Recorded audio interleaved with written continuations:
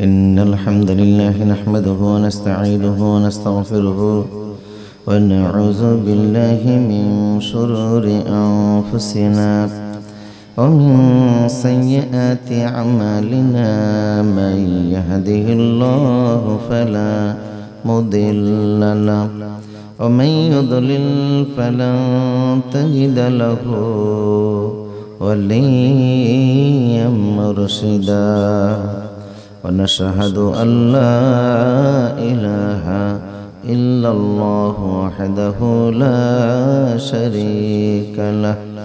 ونشهد أن سيدنا إيماننا قدوتنا حبيبنا وطبيبنا وطبيب أرواحنا ومولانا محمدا عبد الله ورسوله.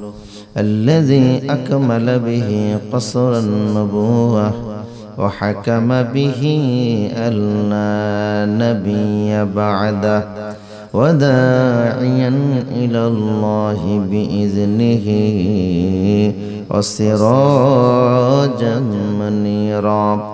فقد قال الله تعالى في كلامه المجيد وفي فرقان الحميد. أعوذ بالله من الشيطان الرجيم. بسم الله الرحمن الرحيم. والضحى والليل إذا سجى. ما ودعك ربك وما قلى وللآخرة خير لك من الأولى. إن الله وملائكته يصلون على النبي. يا أيها الذين آمنوا صلوا عليه وسلموا تسليما. اللهم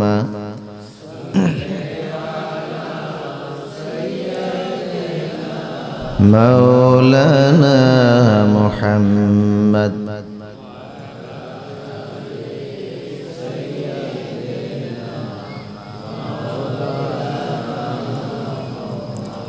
শ্রবণ দ্বারান প্লাবন, নিবল পৃথিবীর সকল দাহন।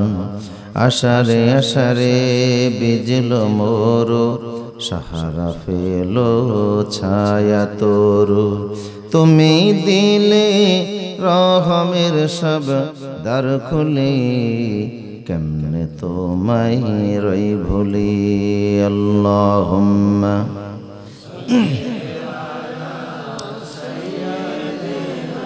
مولانا محمد وعلى آل سيدنا ও মদিনার বুলবুলি কেমনে তোমায় রই ভুলি দিন কাটে আর রাত কাটে তোর বেদনার ফুল তুলি ও মদিনার বুলবুলি আল্লাহুম্মা سيدنا مولانا محمد وعلى آل سيدنا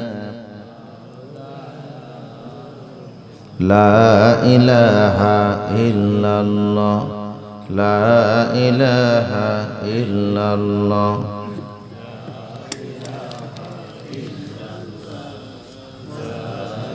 لا إله إلا الله محمد رسول الله صلى الله بسم الله الرحمن الرحيم হিলফুল ফুজুল ইসলামী যুব সংঘ ও মক্তব শরীফের উদ্যোগে আয়োজিত ষষ্ঠ বার্ষিক ওয়াজুদোয়ার মাহফিলের সম্মানিত সভাপতি হজরত মাওলানা শিবলি রব্বানী সাহেব, পীর সাহেব খিলগাতি দরবার শরীফ।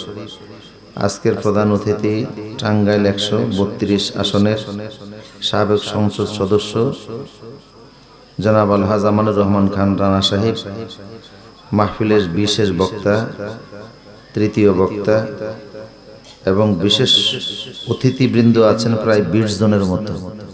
সবার নাম নিতে গেলে একটু সময় লাগবে। সবার জন্য একসাথে দোয়া করে দিই, কেমন? এবং সম্মানিত অতিথিবৃন্দ আছেন চল্লিশ জনের মতো।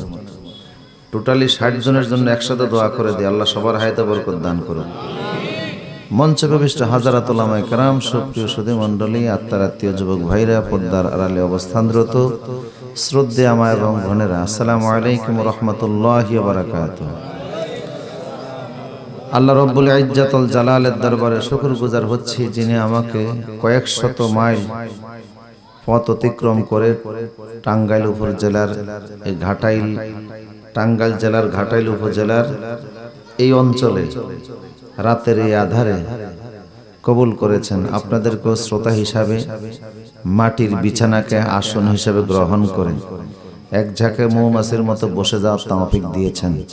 সেই মনিবের দরবারে শুকুর গুজারের নিমিত্তে সকল প্রকার জড়তা দুর্বলতা হীনমন্যতা সংকীর্ণতা আভিলতা জেরে ফেলে দিয়ে ইমানের বলে বলিয়ান হয়ে হৃদয় অবনত চিত্তে হৃদয়ের সবটুকুন আবেগ উজাড় করে। শ্রদ্ধা জড়িত কণ্ঠে বিনয় এবং অত্যন্ত বিনম্রতার সহিত মনিবেদ দরবারে শুকুর গুজার হচ্ছে, যা শুক্রিয়া আদায় না করলে চলে না, চলবে না, চলছে না, চলতেও পারে না। কেননা পৃথিবীর মুখ যিনি দেখিয়েছেন, আলো আধার যিনি আমাদেরকে দেখিয়েছেন ভালো মন্দ বোঝার যিনি তাওফিক দিয়েছেন, প্রশংসা একমাত্র তারই। তাই পুরুষ সূচিত আওয়াজে রাতের নিস্তব্ধতাকে দূর করে, ইথারে ধ্বনিত প্রতিধ্বনিত করে, সিংহ শার্দুলের মতো গর্জন মেরে, বুক বড়ে আর মুখ বড়ে উচ্চ কণ্ঠে প্রাণ খুলে, সমস্বরে সমবেত আওয়াজে এক যুগে সকলে পড়ছি, আলহামদুলিল্লাহ। রব্বানা লাকাল হামদ, হামদান কাসীরান মুবারাকান। ফিহে, ইয়া রব্বি, লাকাল হামদু, কামা ইয়ামবাগি লিজালালি ওয়াজহিক ওয়া আযীমি সুলতানিক। প্রশংসা করলাম কার? আওয়াজ দেয়া বলুন কার? সব জায়গায় প্রশংসা হবে কার? খাওয়ার আগে, ক্ষেত খামারের কাজের আগে, ব্যবসা বাণিজ্যের আগে, মাহফিলে বসার আগে, চুরি করার আগে। সব আল্লাহ চুরি দাঁড়িয়ে আসেনি গেছে ঠেলার ছোটে বলে ফেলছেন। তিনি ভিতরেরটা নেবেন, বাহিরেরটা নেবেন না। ভিতরের খবর, বাহিরের খবর, কেউ যেটা জানে না সেটা জানেন কে? কেউ যেটা দেয় না সেটা দেন কে? প্রসুধি সে আল্লাহর জন্য আজকে আমরা হয়ে যাব। রাজি আছে তো ইনশাল্লাহ কে কে রাজি নাই? হাত তুলে দেখাই। ব্যারোমিটার চাপ দিচ্ছি, ফিল করতেছে কিছু লোক। একশোতে একশো পেতে হবে, আজকের মাহফিল কাল্লা কবুল করুন। সারা বাংলাদেশে শীতের মৌসুমে প্রায় পৌনে চার লক্ষ মাহফিল অনুষ্ঠিত হয়। এত মাহফিল পৃথিবীর কোনো দেশে হয় না। শুধু ভারত, পাকিস্তান, বাংলাদেশে উন্মুক্ত মাঠে মাহফিল হয়। আর বাকি পৃথিবীর সব দেশে অডিটোরিয়ামের ভিতরে মাহফিল অনুষ্ঠিত হয়। ফোনে চার লক্ষ মাহফিল এই দেশে হয়। এই দেশে আল্লাহর রহমত অনেক বেশি। সারা পৃথিবীতে আঠারো লক্ষ মসজিদ, তা বাংলাদেশের মধ্যে ছয় লক্ষ। গ্রেট ব্রিটেন বিশাল বড় দেশ। সেখানে মসজিদের সংখ্যা মাত্র পাঁচ হাজার। আমেরিকার আয়তন এক কোটি বর্গমাইলের এরিয়া। সেখানে মসজিদের সংখ্যা, গোটা দেশে মসজিদের সংখ্যা সাড়ে চার হাজার। আর বাংলাদেশ ছাপ্পান্ন হাজার বর্গমাইলের দেশ, এখানে মসজিদ ছয় লক্ষ। এমপিওভুক্ত আলিয়া মাদ্রাসা আছে সাড়ে তিন হাজার। ননম প্রিয় সহকারে প্রায় ষোলো হাজার আলিয়া মাদ্রাসা। ছাপ্পান্ন হাজার কমি মাদ্রাসা, ছাব্বিশ হাজার হাফিজিয়া মাদ্রাসা। তাই আমি বলি, কোরআন নাজিল হয়েছে সৌদি আরবে। এটারে সুর করে, সুন্দর করে পড়তে পারছে মিশরের কারীরা। কোরআনের অর্থ তর্জমা ভালো বুঝতে পারছে ভারতের আলেমরা। আর কোরআনের আমল করছে বাংলাদেশি মুসলমানের। ঠিক কিনা বলেন? এদেশে আল্লাহর রহমত বেশি। এই জন্য রসুল পাক সাল্লাহ সাল্লামের দয়া, ভালোবাসাও এই দেশের মানুষের প্রতি বেশি। রসুলের ভালোবাসা এই দেশের মানুষের প্রতি বেশি, তার দুটি কারণ। এ দেশে ইসলাম, মনোযোগ আসেনি আপনাদের? কথা কি বোঝা যায়? প্রিয় সুধী টাঙ্গাইলের ভাইরা। তো, এ দেশে ইসলাম যুদ্ধের মাধ্যমে আসে নাই। এ দেশে ইসলাম আসছে সাহাবিদের মাধ্যমে। মদিনায় তখনও ইসলাম যায় নাই যখন বাংলাদেশে ইসলাম চলে এসেছে।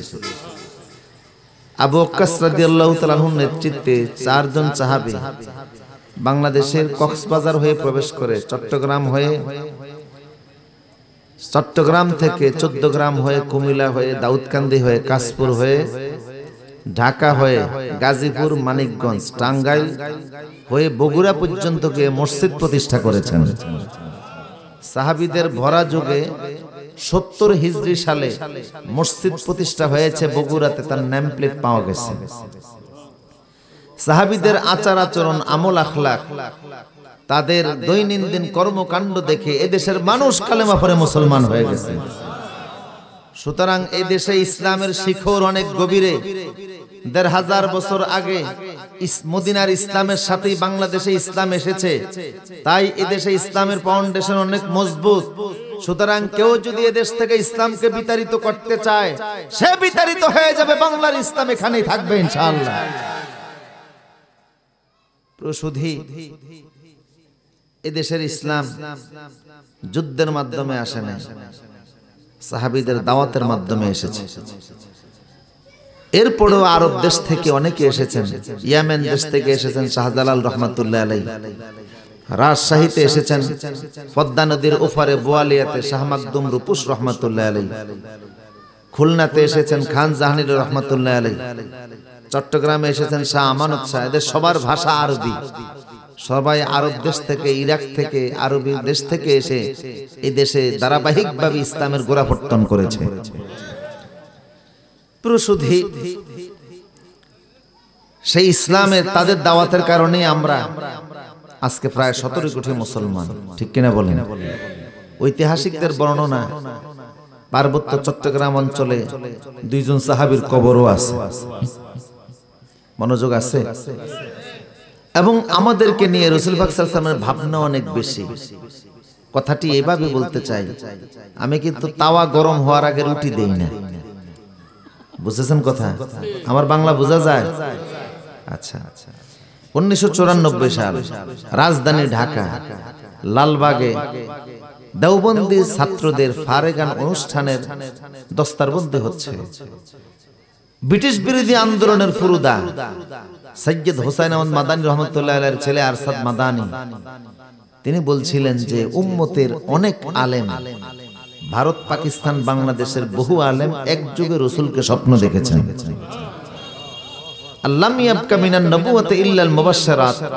কিয়ামতের আগে শুধু নবুয়াতের স্বপ্নটাই বাকি থাকবে। স্বপ্নের মাধ্যমে উম্মতের আলেমদেরকে সঠিক সিদ্ধান্ত নেওয়ার মতো আল্লাহ ব্যবস্থা করবেন।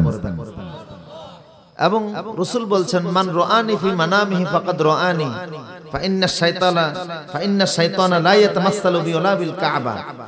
যে ব্যক্তি আমাকে স্বপ্ন দেখল সেজন্য আমাকেই দেখল। কারণ শয়তান পৃথিবীর সবকিছু নকল করতে পারে। আমি রসুলের চেহারা আর কাবা শরীফের দৃশ্য সে নকল করতে পারে না। সমস্ত আলেম, অনেক আলেম এক যুগে লা উম্মতি আলা দলালা এই উম্মতের এক যুগের আলেমরা পথভ্রষ্টতার উপর একমত হবে না।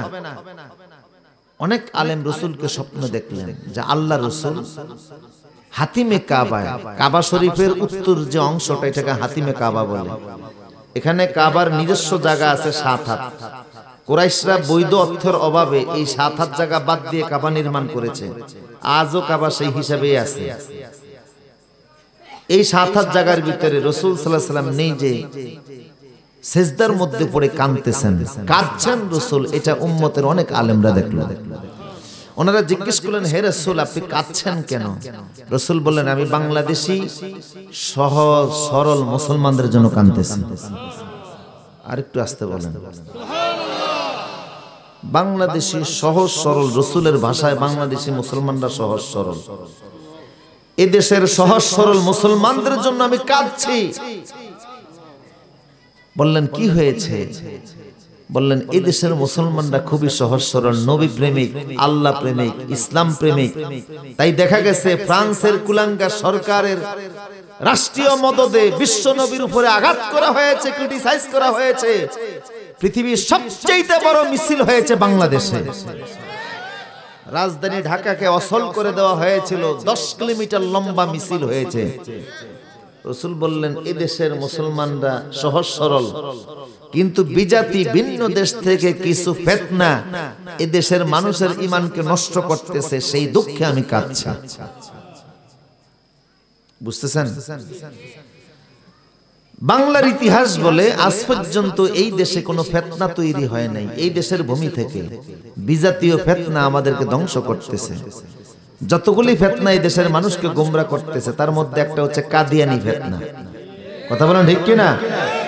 এই ফেতনার জন্ম বাংলাদেশে হয় নাই, এটা ইন্ডিয়া থেকে পাঞ্জাবের গুরুদাসপুর এলাকায় উনিশশো আট সালে এই বিয়াদফের জন্ম। সেখান থেকে এই ফেতনা ছড়িয়েছে। ভারতেও এত কাদিয়ানি অনুসারী নাই যত বাংলাদেশে আছে। কথা বলেন ঠিক কিনা? সাদিয়ানি ফেতনা। তারপরে বিভিন্ন এনজিওর ফেতনা এদেশে আছে না নাই? ইমানকে নষ্ট করতেছে রসুলের ভাষায়। খ্রিস্টান মিশনারিগুলি থেমে নাই। বিভিন্ন অঞ্চলে মুসলমানকে খ্রিস্টান বানানোর জন্য হাজারো আয়োজন তাদের চলছে। এই জন্য রসুল কষ্ট পাচ্ছেন আমাদের কারণে। তাই ওয়াজ মাহফিলগুলো যত বেশি হবে ওদের ফেতনা ততটা মাকড়সার জালের মতো নির্মূল হয়ে যাবে। কথা বলেন ঠিক কি না তাই বাংলার জমিনে প্রতিনিয়ত মাহফিল গুলি হোক, কোরআনের আলোচনা চলুক, আমরা চাইতো ইনশাল্লাহ কারা চাই হাত তুলে দেখাও? আল্লাহ কবুল করুন এবার মূল আলোচনায় প্রবেশ করি। তাওয়া গরম হয়েছে মনে হয়। এবার রুটি দেওয়া যাবে? আচ্ছা। যারা আপনারা একটু সামনের দিকে আসুন আর আরেকটু আরেকটু সামনের দিকে আসুন। আমি আর বলব না, প্লিজ। ও আচ্ছা। মানে বক্তা না দেখলে গাছ করেন। আচ্ছা টাঙ্গাইলের ভাষা মনে হয় আমি কিছুটা বুঝতেছি। বাংলা ভাষার জন্ম হয়েছে কলকাতার নদীয়ার শান্তিপুরে। এটার মৃত্যু হয়েছে নোয়াখালীতে, কুলখানি, চট্টগ্রামে চল্লিশা সিলেটে। চিটগঙ্গের ভাইরা যে বাংলা বলে, তা কেরামন কাতিমিন বুঝে কিনা আল্লাহ ভালো জানে। আর পুরান ঢাকার বাংলা তো আরও জঘন্য। আমার নাতি থাকে পুরান ঢাকাতে, গেলেই বলে, আবে হালা, নানা, আবি হালা আছে বি হালায় হ্যাঁ ও হালা ছাড়া কথাই বলতে পারে না। এটা এক এক জায়গার এক এক আঞ্চলিকতা। তবে এটার একটা মজাও আছে। আছে না নাই? যত উত্তর অঞ্চলে যাবেন, টানিয়া টানিয়া কথা বলে, লম্বা করে কথা বলে, ঠিক কিনা? আর যত দক্ষিণ অঞ্চলে যাবেন, তত তাড়াতাড়ি কথা বলে। কথা বললে বোঝা যায় তার বাড়ি কোথায়। ঠিক কিনা বলেন? রাজধানী ঢাকাতে একটাকে জিজ্ঞেস করতেছে, বাড়ি কোথায়? কয়, মোরে কইছেন? যেই বলছে, মোরে কইছেন, তখন বুঝছে বাড়ি এটার বরিশাল।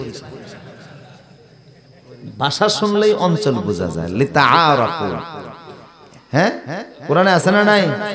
ইন্না খলাকনাকুম, আমি তোমাদেরকে সৃষ্টি করেছি মিন যাকারি ওয়া উনসা ওয়া জাআলনাকুম শুউবা ওয়া কাবাইলা বিভিন্ন গোত্রে, বিভিন্ন জাতিতে তোমাদেরকে বিভক্ত রাখার কারণে চিনতে সুবিধা হয়। ঠিক কিনা বলেন? প্রিয় সুধী, তো আল্লাহ আজকের এই মাহফিলটাকে কবুল করুন। আমি আপনাদের সামনে সূরা দোহা থেকে তেলাওয়াত করেছি। এর ভিত্তিতে সংক্ষেপ কিছু কথা বলে দোয়া করব। প্রতিদিনের মাহফিল আলহামদুলিল্লাহ। তাও এক জায়গা থেকে আরেক জায়গা। আজকে চাঁদপুর থেকে এসেছে। আবার চাঁদপুর চলে যেতে হবে। পেশায় আমি একজন টিচার অ্যারাবিক লেকচারার এই জন্য দুনিয়া যেখানেই থাকি ক্লাসে উপস্থিত থাকতেই হবে। এখান থেকে গিয়ে আবার কালকে পড়ানো কতটা দুঃসাধ্য। দোয়া করে দিন আল্লাহ যেন সহি সালেমে পৌঁছায়। প্রসুধি সুরায় তাফসিরের মূল নীতি হলো, কোন জায়গা থেকে তাফসির করতে হলে তার ব্যাখ্যা, তার সানে নজুন থাকে যদি সেটা আগে বলতে হবে। বিশ্বনবী নবুয়াতের প্রাথমিক কালে যখন কোরআন নাজিল হচ্ছিল, তখন নিজে কখনো বাইতুল্লাহ, কখনো নিজ ঘরে তাহাজ্জুদের নামাজ পড়তেন। এবং তাহাজ্জুদের নামাজটা রসুলের উপরে ফরজ ছিল। তিনি তাহাজ্জুদ পড়তেন, আমাদের মতো খুব দ্রুত গতির রুকু সেজদা দিতেন না। দাঁড়িয়ে থাকতেন প্রায় দুই পারা, তিন পারা সুরায় বাকারা, সুরা আলে আমরান সুরায় নেসা কখনো এক রাখাতে শেষ করে দিতেন। স্বয়ং যার উপরে কোরআন নাজিল হয়েছে, তার কণ্ঠে তেলাওয়াত কতটাই না মধুর ছিল। আল্লাহ আকবার। কাফের মোশেক বেদিনরা রাতের আধারে এসে রসুলের কণ্ঠে কোরআন তেলাওয়াত শুনত। দিনের বেলায় বিরোধিতা করতো, রাতে তেলাওয়াত শুনতো খুব ঠিকই। কথা বুঝতেছেন কিনা?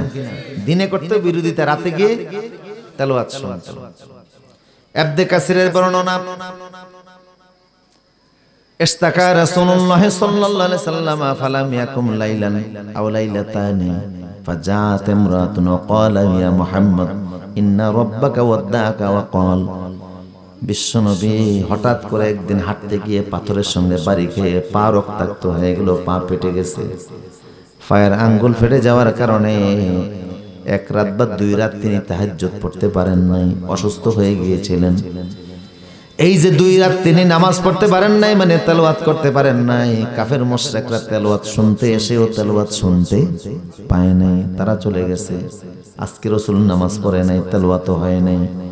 সকালবেলা প্রতিবেশী নেই, একজন মহিলা, তার নাম ছিল উম্মে জামিলা। সে দৌড়ে এসে বলল, মোহাম্মদ মনে হয় তোমার রব তোমার উপর রাগ করেছে, তোমারে ছেড়ে দিয়েছে, তাই তুমি তেলাওয়াত করতে পারো নাই। বিশ্বনবীর মনটা খারাপ হয়ে গেল। ঠিক তখনই আল্লাহ এই সূরা দোহা নাজিল করে দিয়ে বললেন নবী, আমি দুটি জিনিসের কসম খেয়ে বলছি, আপনাকে আমি ছেড়েও দেই নাই, আপনার উপর রাগ করি নাই। দুটি জিনিসের কসম খেয়ে বলছি, কয়টা জিনিস? দোহা দোহার কসম, ওয়াল্লাইলি ইযা সাজা, সাজার কসম। এখন দোহা কি, সাজা কি, জানার দরকার আছে না নাই? কে কে ঘুমাচ্ছেন? হাত করে দেখান। কি ওয়াজ যে করব, আল্লাহ ভালো জানে। হ্যাঁ ওই, এই তো আমি ব্যারোমিটার ছাপ না দিলে আপনাদের মনোযোগটা আকর্ষণ করতে পারি না।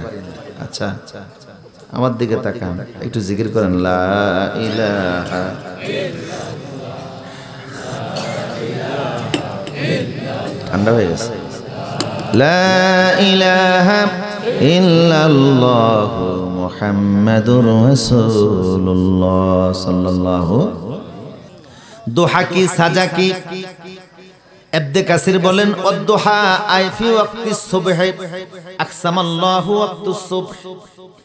এবদে কাসির বলেন, তো হামানি হলো সকালবেলা সকালবেলার সময়ের আল্লাহ কসম খাচ্ছেন।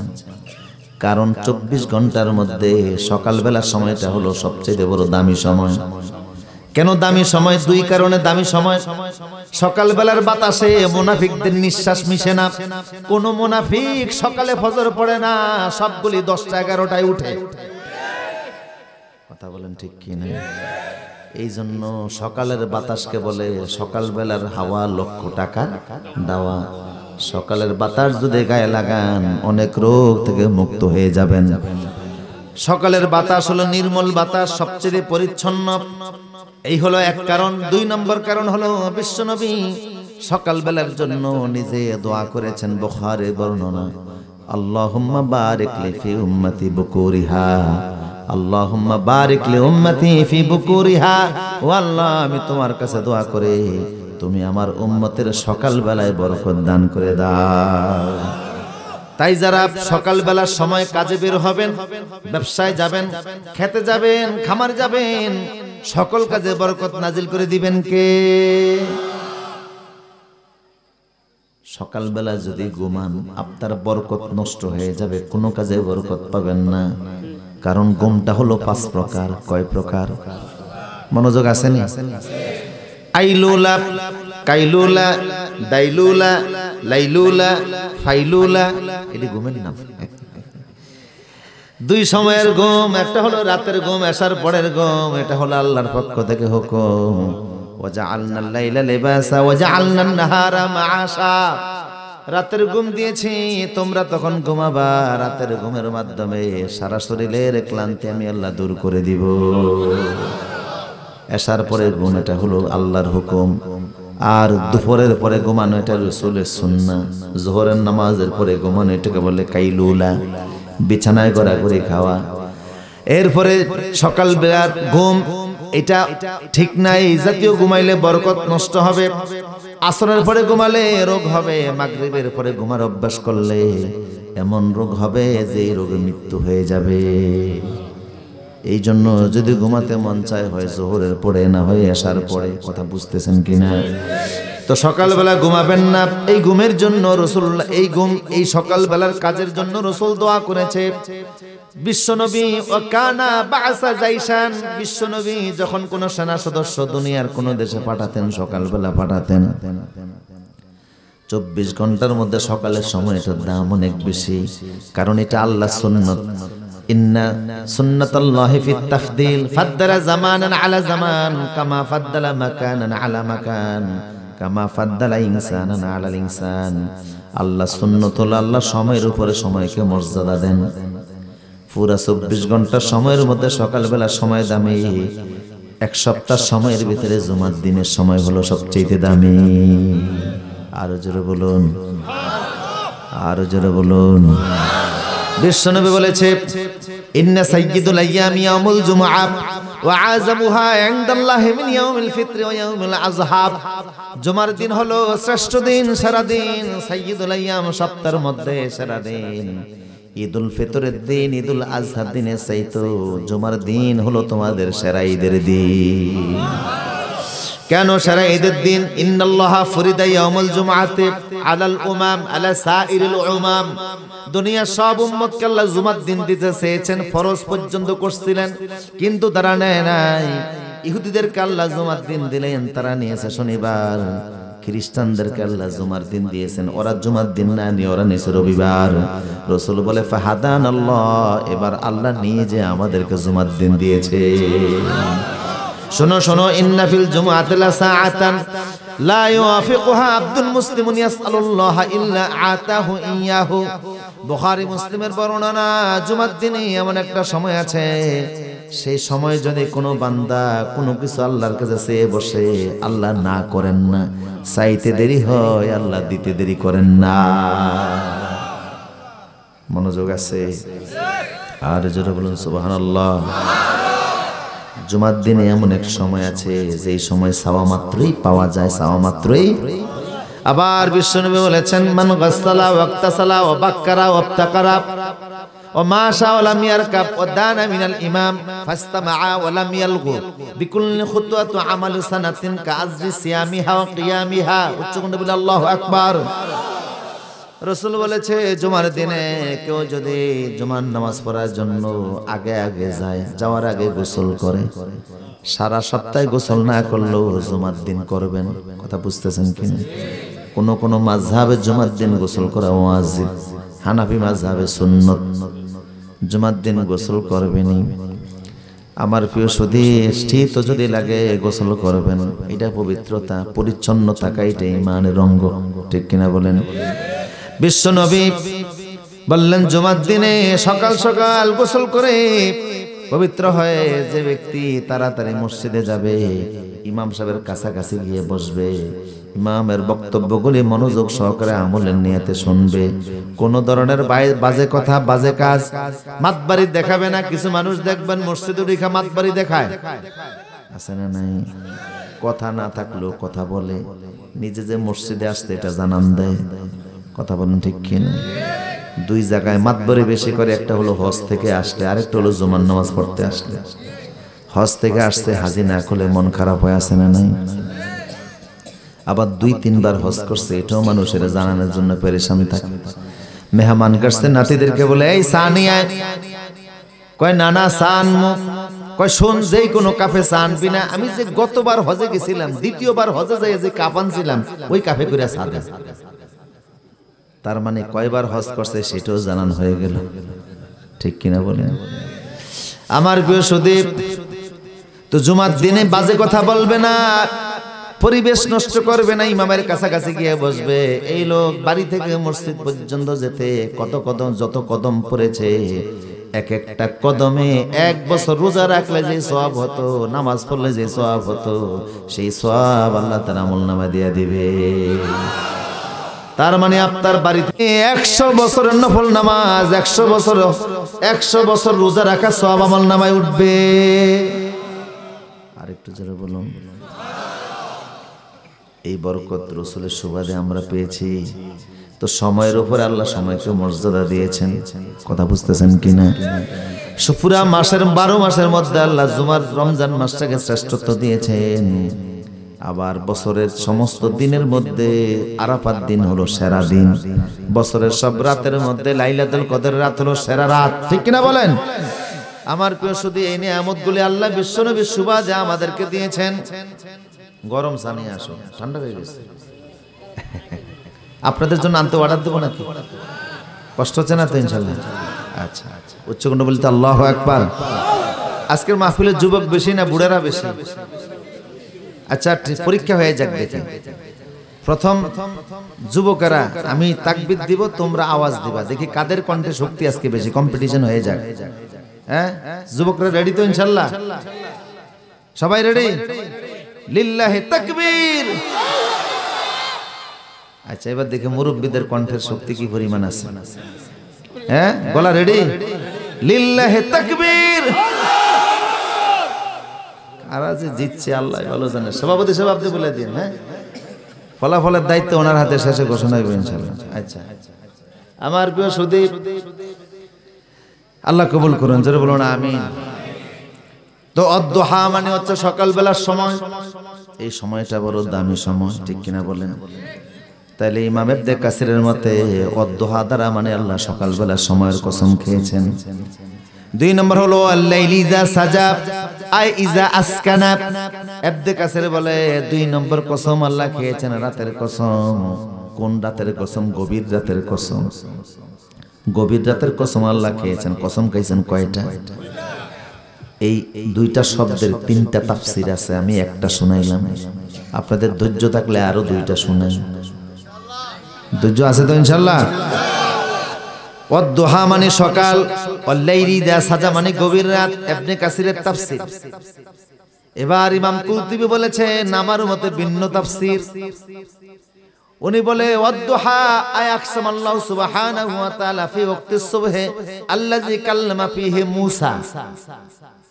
ইমাম কুরতুবি তিনি বলেন, অদ্দোহা মানে হলো সকালবেলা সেই সময়, যেই সময় মুসা নবী আল্লাহর সঙ্গে কথা বলেছে।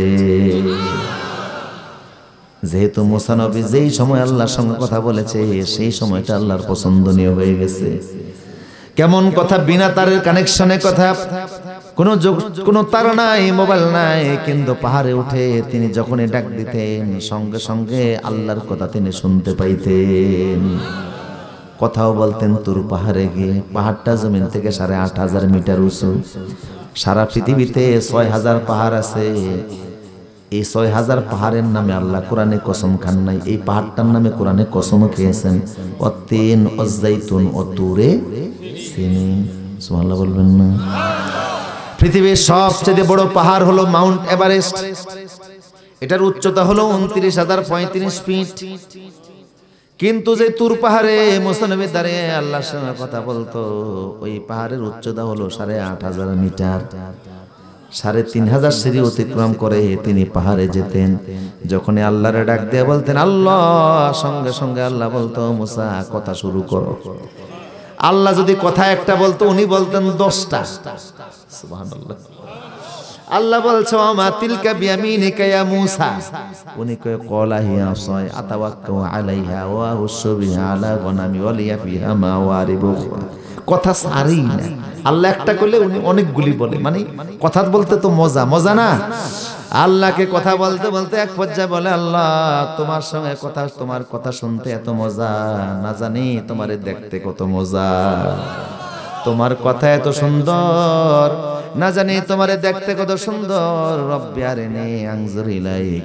আল্লাহ, তুমি আমারে দেখা দাও, আমি তোমাকে এক নজর দেখতে চাই। আল্লাহ বললেন, লাং তারানি মুসারে, তোমার পক্ষে আমি আল্লাহকে দেখা সম্ভব? না, উনি কয়, না, আমি দেখবই। আল্লাহ বলে, দেখা সম্ভব না। উনি কয়, দেখবই। একটু অভিমানী ছিলেন, কি ছিলেন? অভিমানী।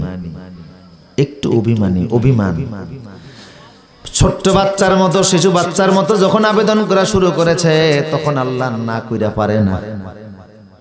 কারণ অনেক সময় দেখবেন বাচ্চারা না বুঝে অনেক কিছু চায়, আছে না নাই? তখন বাচ্চাদের আবদার রক্ষা করতেই এক বাচ্চা উজিরে আজম এক ঘণ্টা দেরি করে অফিসে আসছে। প্রতিদিন আসার কথা দশটায়, আজকে আসছে এগারোটায়। উজিরে আজম দেরি কেন কয় যা পানা আসার সময় আমার তিন বছরের বাচ্চা এমন একটা আবেদন করছে। ওই আবেদন রক্ষা করতে আমার মিনিমাম ঘণ্টা খানিক সময় লাগছে। বাচ্চা বলে বাচ্চার আবদার রক্ষা করতে ঘণ্টা খানিক সময় লাগে ফালতু কথা আমারে বোঝাও উজিরে আজম কয় যা পানা আপনার তো ছেলে সন্তান নাই সন্তান আদির মায়া মোহাব্বত বুঝারও কথা না। তবে সময় যে লাগে কি লাগে না এটা যদি আপনি বুঝতে চান। আপনি নিজে বাবা হন আমি ছেলে হই। আমি ছেলে হইয়া ছায়া দেখি, আপনি বাবা হইয়া দিয়ে দেখেন সময় লাগে কি করিবার বাচ্চা বলে, ঠিক আছে, আমি বাপ হইলাম, এটা অভিনয়ের বাপ। ওজির আজম বলে, আমিও ছেলে হইলাম, অভিনয়ের। তো ঠিক আছে সাও তো বাচ্চা, উজিরে আজম কাঁদে, বাচ্চা কয়, কি হয়েছে রে ফোলা? কয়, আব্বা, আমার একটা হাতি আই না দেন। বাচ্চা বাচ্চা বলে, আমার হাতির অভাব আছে, রাজদরবার থেকে হাতি একটা এনে দে। হাতি আনা হয়েছে। আবার কান্দতেছে এ, বাচ্চা কয় কি হয়েছে রে বলা? কয় আব্বারা আমার একটা মাটির ফাতিল না দেন। তো এই মাটির ফাতিল এনে দিছে। এই তুই ছেলে হয়েছিস বিদায় বারবার সাবি। আমি বাপ হয়েছি বিদায় বারবার দিব। এত সময় আমার হাতে না তা আবার কান্দতেছে এ, বাচ্চা কয় কি হয়েছে রে ফোলা কয় আব্বা হাতিটারে ফাতিলটার মধ্যে বইরা দেন। বাচ্চা কয় এটা কষ্টকে কয় ভর ব তাড়াতাড়ি বাচ্চাকে বুঝতে পারছি ফোলাপান আবদার করলে, রক্ষা করতে গেলে সময় লাগে। আর তোর মতো ফোলা যদি হয়, দুনিয়া কেমত বানিয়ে লইবে তো মুসা নবী বাচ্চার মতো আল্লাহ আল্লাহ, দেখা দেন। আল্লাহ না করতে পারে না। আল্লাহ বলল মুসা একান্ত যদি দেখতে চাও, আগে টেস্ট পরীক্ষা দাও। টেস্ট পরীক্ষায় পাশ করলে ফাইনাল হিসাবে আমি আল্লাহ তোমার সাক্ষাৎ দিয়ে দিব। তো টেস্ট পরীক্ষা নেবেন, কোন জায়গায় তুর পাহাড়ে নেওয়া হবে, এটাই পরীক্ষার হল টেস্ট পরীক্ষা। কিবারে নেবেন, সোমবারে কয়টায়, এই সকাল সময় আসবা। সকালবেলা মুস্তানবী উজু গোসল করে পবিত্র হয়ে পাহাড়ে উঠলেন। পাহাড়ে গিয়ে দাঁড়িয়ে বলছে, আল্লাহ, আমি আসছি। আল্লাহ কয়, আজকে তোমার সঙ্গে আমার খেলা হবে। দাঁড়িয়ে যাও, পাহাড়ে দাঁড়িয়ে গেলেন। মুসা নবীকে আল্লাহ, শুরু করেন। আল্লাহ বললেন, না, কিছু কাজ আছে। তুমি তোর পাহাড়ে আমারে দেখবা, পাহাড়টাকে একোয়ার করা লাগবে। কি দ্বারা একোয়ার করবেন? দেওয়াল উঠাবেন নাকি? আল্লাহ বললেন, স্থায়ী দেওয়াল না অস্থায়ী দেওয়াল বানাবো। তোর পাহাড়টা হলো সাত মাইলের এরিয়া, বিশাল বড় পাহাড়। একোয়ার করার জন্য আল্লাহ হাজার হাজার ফেরেস্তা নাজেল করে দিলেন। একজন ফেরেস্তা আরেকজন ফেরেস্তা সিনার সঙ্গে সিনা লাগাইয়া সাত মাইলের এরিয়া পুরো পাহাড়টাকে একোয়ার করে নিয়েছে। আরেকটু আসতে বলেন, সুবহানাল্লাহ। আরেকটু আসতে এ, আমি বলে আস্তে আপনারা বলেন জোরে। বাংলাদেশে উল্টা জিনিস কম না বেশি? উল্টা নাম তো কত বেশি?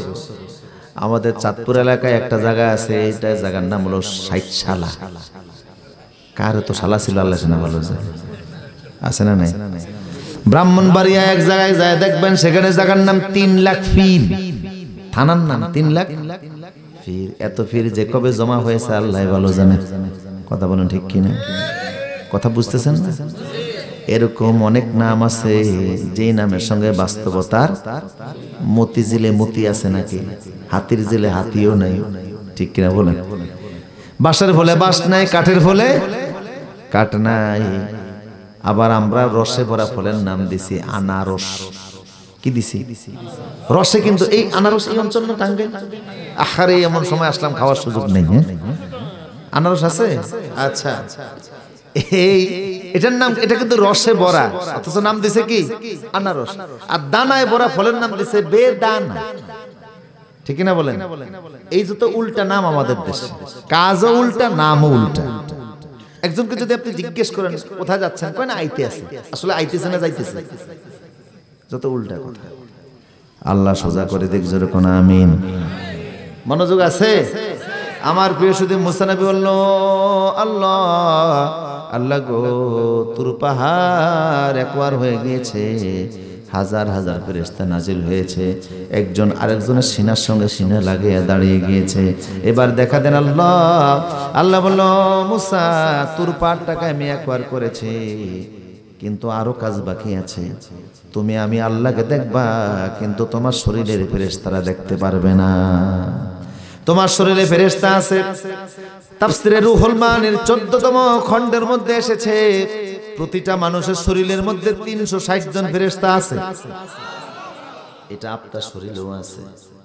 আপনি যে চোখের পলক মারেন, এখানে সাতজন ফেরেস্তার ডিউটি আছে। আপনি ঘুমিয়ে থাকেন, চোখগুলি ফেরেস্তারা সেভ করে। নাক টানেন জন্মের মতো, যদি নাকের দায়িত্বে ফেরেশতা না থাকতো তেলাফোকা গিয়ে বৃত্তে ঢুকতো। কথা বলেন ঠিক কিনা? মাঝে মধ্যে কানে দিয়ে আল্লাহ দুই চারটা পিঁপড়া ঢুকিয়ে বুঝাইতে চায়, এই দেখ, এখানে ফেরেশতার ডিউটি আছে, নতুবা তোরে শেষ করে লাইতে দুই চারটা ঢুকিয়ে আল্লাহ একটু পরীক্ষা করে কথা বুঝতেছেন কিনা সমাজে দুই চারজনকে আল্লাহ বোবা বানিয়ে বুঝায়, দেখ, জাবানের মূল্য কত বেশি? দু একজনকে অন্ধ বানিয়ে বুঝায়, দেখ, চোখের মূল্য কত বেশি? আল্লাহ আকবার। এক লক্ষ ষাট হাজার রেখা আল্লাহ চোখের মধ্যে দিয়েছেন। ষাট হাজার ক্যামেরা আছে দুই চোখের মধ্যে। আল্লাহ আকবার। এই মেগাপিক্সেল ক্যামেরা আছে, এক একটা মানুষের চোখের ভিতরে ষাট হাজার। আলাম নাজআল লাহু আইনাইন ওয়া লিসানান ওয়া শাফাতাইন ওয়া হাদাইনাহু নাজদাইন। তাকে দেখো তোমার মধ্যে আমি আল্লাহ আমার কত নিয়ামত দিয়েছি। এই নিয়ামতগুলি দেখো, শোনো। আর ফাযকুরুনি আযকুরুকুম ওয়াশকুরুলি আল্লাহ আল্লাহ জফমন জফো আল্লাহ আল্লাহ আল্লাহ আল্লাহ জফমন জফো আল্লাহ আল্লাহ। ও নাম জফে আদম, ফেলেন বুলের মাফি অগ্নি কুণ্ডে ইব্রাহিমের ও নাম ছিল কাফি। নুহের তরিও নাম জফে নুহের তরিও নাম জফে পার হয় উর্মি মালা। আল্লাহ আল্লাহ জফমন জফো আল্লাহ আল্লাহ, জিকির করব কার? প্রশংসা করব কার? সকলে বসছি, আলহামদুলিল্লাহ। আমার প্রিয় সদীপ, আল্লাহ বলেন মুসা, তোমার শরীরে তিনশো ষাট জন ফেরেশতা আছে। এই যে লেখে যারা লেখে, কেরামান, কাতেবিন, এই লেখার ফেরেশতা হলো পাঁচজন। আপনারা বলতে পারেন, হুজুর, সারা জীবন শুনছি দুইজন। আপনি বলেন, পাঁচজন? কথাটি আমার নয়। হুজ্জাতুল্লাহ বালেগার মধ্যে এসেছে শাহ ওয়ালিউল্লাহ মুহাদ্দিসে দাহলাবি রাহমাতুল্লাহ লিখেছেন, লেখার ফেরেশতা হলো পাঁচজন। কারণ দুইজন হলে আল্লাহ কোরআনে তাসনিয়া শব্দ দিবসনের শব্দ ব্যবহার করতেন। আল্লাহ বলতেন কেরো আমাইনে কাতে বাইনে আলামানে তাফআলানে। যেহেতু আল্লাহ তাসনিয়া শব্দ ব্যবহার করেন নাই, বহু বচনের শব্দ ব্যবহার করেছেন, কেরামান কাতিবিনা ইয়ালামুনা মা তাফআলুন। বোঝা গেল ফেরেশতা হলো পাঁচজন সুবহানাল্লাহ।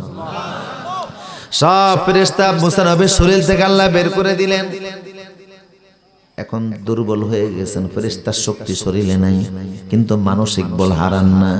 আল্লাহর তখনও বলছে আল্লাহ এবার দেখা দেন আমি আপনারে দেখব। আল্লাহ বলেন না রে মুসা আরও কাজ বাকি আছে। মুসা বলে কি বাকি আছে? আল্লাহ বলেন ও মুসা তোর পাহাড়ে শয়তান দাঁড়িয়ে আছে। অরে বের করে দে। মুসা কয় এই শয়তান তুই আসছিস কখন আসছিস আমি তো দেখি নাই কয় আপনি দেখলেন কিভাবে কয় আমি দেখি নাই আল্লাহ দেখিয়ে দিয়েছে বের হ শয়তান আছে না নাই কই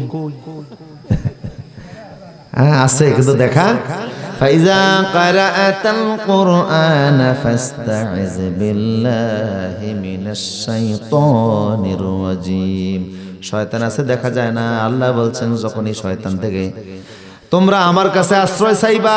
তুমি দেখো না, আমি দেখি আশ্রয় চাওয়া মাত্র শয়তানের ধোকা থেকে আমি আল্লাহ তোমারে বাঁচিয়ে দিব। আল্লাহর কাছে দোয়া করা লাগবে, শয়তানের থেকে জন্য। তবে এখন আমাদের কাজ মনে হয়ে গেছে, শয়তানের এখন লাগে না। শয়তান বলে, আমি আর শয়তান হয়েছে কি করতে? এগুলি আমার সাথে আরও বড় শয়তান। কথা বলেন ঠিক কি না কত বড় শয়তান? গায়িকা নাচতে নাচতে ফেসাব করে ভক্ত যে ফেসাব খায়। মানুষ এত নিচে নামতে পারে। আশরাফুল মাখলুকাত কত নিকৃষ্ট হয়ে গেছে। বিশ্বের একজন সেরা ক্রিকেটার, ক্রিকেট খেলার পরে নিজের জুতার মধ্যে মদ নিয়ে সেই জুতা থেকে মদ পান করে। এটা বুঝে মানুষের রুচি হয়।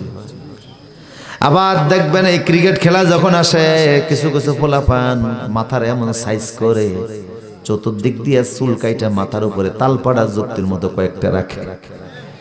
কিছু আবার সামনের দিক দিয়ে চুল রাইখা, পিছনের চুল সব কাটছে। ওখানে বাপের নাম, নিজের নাম, road number, code number, house number, mobile number লেখে সব রেখে দিয়েছে। কেউ যদি জিজ্ঞেস করে, তোমার পরিচয় কি? কয়, ডিজিটাল দুনিয়া।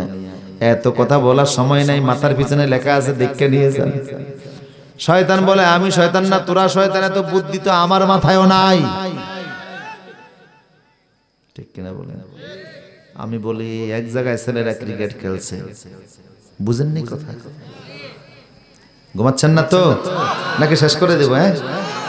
হ্যাঁ? কখন পর্যন্ত চলবে? আল্লাহ, পাইছে আমার। আমার প্রিয় সুদীপ, না, বারোটা ইনশাল্লাহ শেষ করে আমার দিকে তাকান। ছেলেরা ক্রিকেট খেলেছে, কয় চল মুড়ি ভত্তা খাই, ক্লান্ত হয়ে গেছি। তো মুড়ি ভত্তা খাবি? কি দিয়ে খাবে? কয়, চাঁদা উঠা। মুড়ি আনা লাগবে, সানাসুর, টমেটো। যেগুলি খাওয়ার জন্য লাগে আর কি শশা লাগে না? সরিষার তেল। তো চাঁদা উঠিয়েছে কেউ দিছে পাঁচ টাকা, কেউ চার টাকা, কেউ তিন টাকা। শয়তান নিজেও গেছে মানুষের সুরত দুইরা ও কয়, আমিও মুড়ি ভত্তা খাব। ও দিছে এক টাকা চাঁদা। ওর তো বুদ্ধি বেশি। ও বলতেছে, ওরা পাঁচ টাকা দিয়ে যেই পরিমাণ মুড়ি খাবে, আমিও এক টাকা দিয়ে ওই পরিমাণ খাব। কারণ খাওয়ার সময় তো সবাই সমান খাবে। টাকা কম বেশি দিতে পারে। খাইতে তো আর কম খাওয়া যাবে না। এক টাকা দিয়া শরিক হয়েছে ছেলেরা টমেটো সানাসুর মুড়ি সরিষার তৈল শশা এনে কেটে সেটে রেডি করে। বড় গামলার মধ্যে করে খাবার রেডি করেছে মুড়ি ভর্তা খাবে। সালাক মার্কে একটা দাঁড়িয়ে কয় কে রে চাঁদা তো সবাই সমান দেয় নাই। কেউ দিছে পাঁচ টাকা আবার কেউ দিছে এক টাকা। এটা কত বড় জুলুম, কত বড় অন্যায়। এক টাকা দিয়া পাঁচ টাকা সমান মুড়ি খেয়ে কয়, তাহলে কি করিতে হইবে, কি করিতে হইবে? কয়, বুদ্ধি একটা আছে। যে পাঁচ টাকা দিছে এসে পাঁচ আঙুল দিয়া মুড়ি খাবে যার চার টাকা, চার আঙ্গুল। তিন টাকা, তিন আঙ্গুল। দুই টাকা, দুই আঙ্গুল, এক টাকা বেচারায় শয়তান বসছে বিপদে। এক আঙ্গুল দিয়ে মুড়ি উঠে একটু উঠে না। দুই সাইডটা যদিও উঠে, মুখে নেওয়ার আগে আগে এমনি কাইথিয়া ফিরে যায়। রাগে দাঁড়িয়ে কয়, কিরে, আমি শয়তান না, তোরা শয়তান? এত বুদ্ধি তো আমারও মাথার মধ্যেও নাই। তোদের বুদ্ধির কাছে আজকে আমি হার মেনে গেলাম।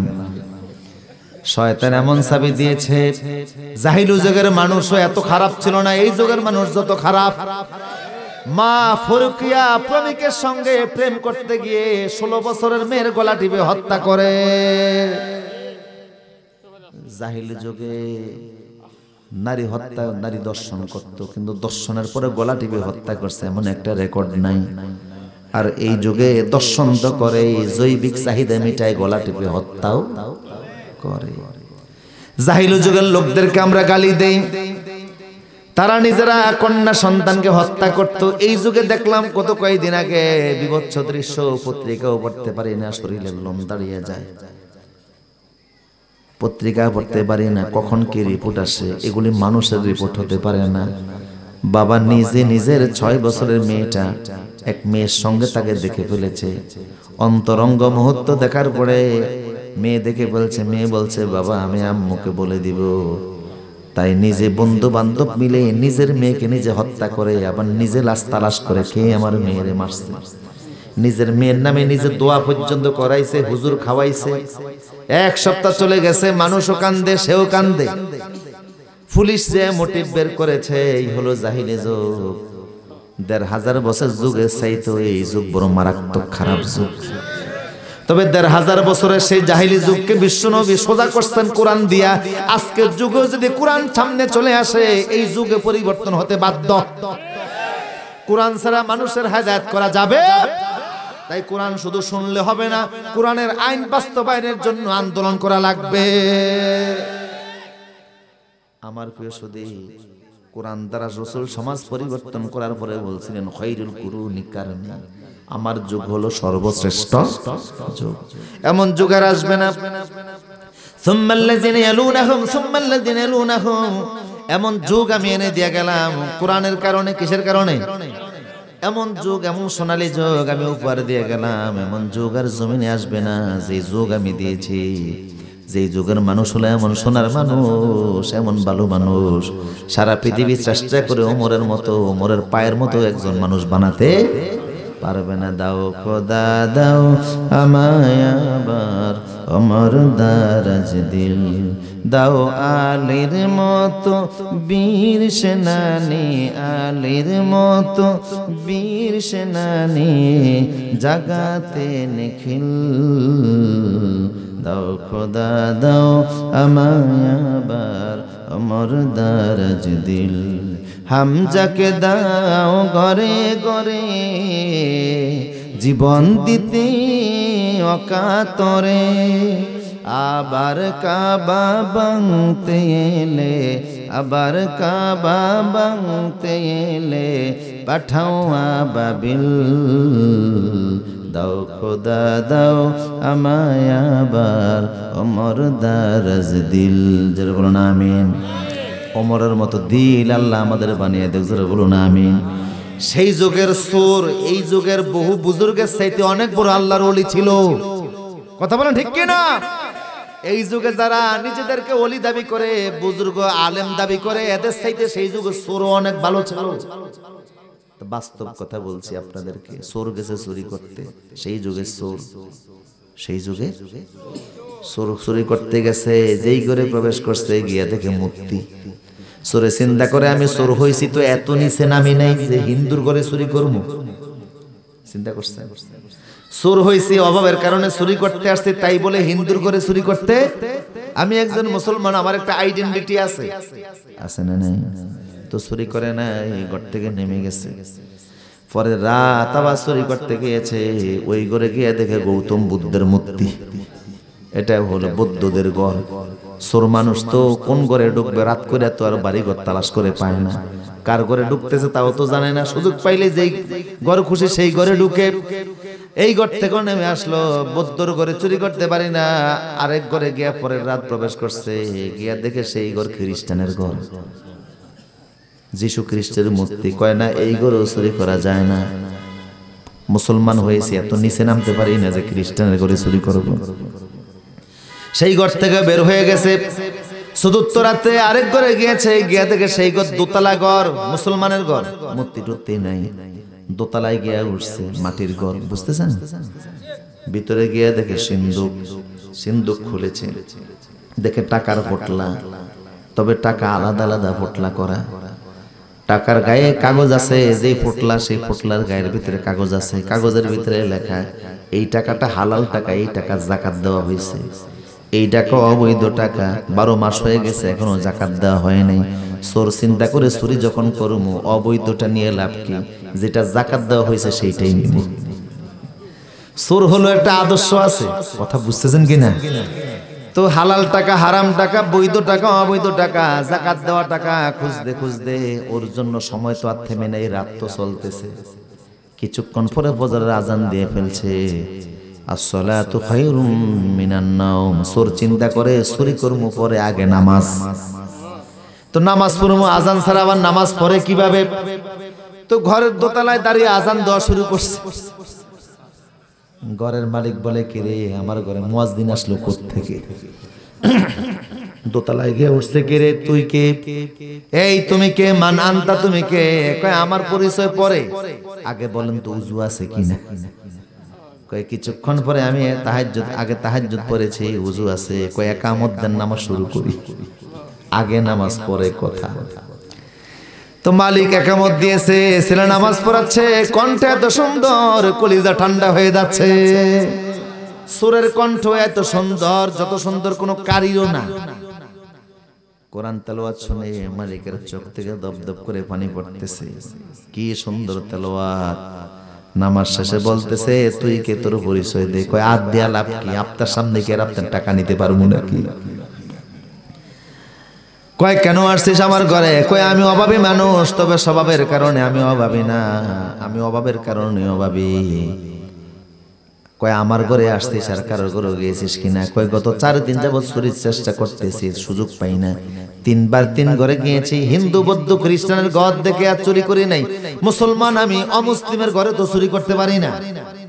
আফতার ঘরে ঢুকছি, টাকা গোনা শুরু করছি, টাকা বাসা শুরু করছি, বৈধ টাকা ও অবৈধ টাকা, জাকাত দেওয়া টাকা, জাকাত ছাড়া টাকা খুঁজতে খুঁজতে দেখি সময় হয়ে গেছে আজানের। বাবলাম আগে নামাজ পড়ে, তারপরে টাকা নিমো। তো নামাজ পড়ব আজান ছাড়া আবার নামাজ পড়ে কীভাবে রসুল বলছেন, সব নামাজের সাথে আজান আছে না নাই? শুধু ঈদের নামাজ আজ নামাজ ছাড়া আর সব নামাজে আজান আছে না নাই?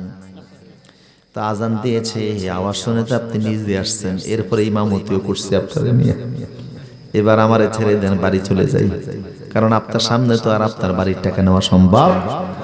মালিক কয়, না, তোরে সারমু না, আমি থাক। উপরে রেখে বাহিরের দিক দিয়ে তালা মেরে নিচে যায় স্ত্রী রে। গত তিন মাস যাবৎ একমাত্র মেয়ে আমার, একমাত্র মেয়ে আবার একমাত্র সন্তান। আমার আর সন্তান নাই। আমি একজন শিল্পপতি মানুষ, বহু পয়সার মালিক। আমি চাইছিলাম একটা দিনদার ছেলে। যেই দিনদার ছেলের কাছে আমি আমার মেয়ে বিয়ে দিলে, এই মেয়েটা সুখে থাকবে, শান্তিতে থাকবে, আর আমার ব্যবসা বাণিজ্য ওই ছেলের হাতে আমি তুলে দিয়ে যাব। তিন মাস ধরে সেমন ছেলে পাই না, আজকে একটা ছেলে পাইছে, ঘরের দোতলায় আছে। এই ছেলের কাছে আমি আমার মেয়ে বিয়ে দিতে চাই। স্ত্রী বলে এটা কেমন ছেলে ঘরের দোতলা দিয়ে ঘরে আসতেছে। বলে, স্ত্রী রে, এটা সোর হিসাবে আসতে তবে অভাবের কারণে নয়, স্বভাবের কারণে নয়, অভাবের কারণে আসছে। আমার মনে হয় এই ছেলের মধ্যে এমন আমানত দাঁড়িয়ে আছে, আল্লাহর ভয় আছে।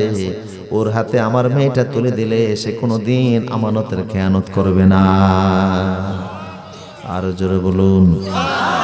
আমার প্রিয় সুদীপ তো বলছিলাম সেই যুগের চোর, এই যুগের বহু বুজুর্গের চাইতে অনেক বড় ভালো ছিল।